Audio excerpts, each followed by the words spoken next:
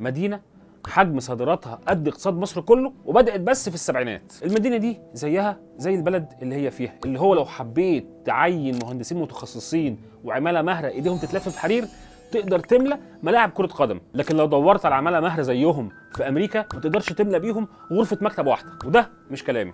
ده كلام تيم كوك رئيس شركة أبل. اللي بتصنع منتجاتها فين؟ في شنجن الصينيه اللي كانت من 40 سنة بس قرية صغيرة للصيادين. النهارده 90% من الإلكترونيات في العالم جاية منها. وده ليه؟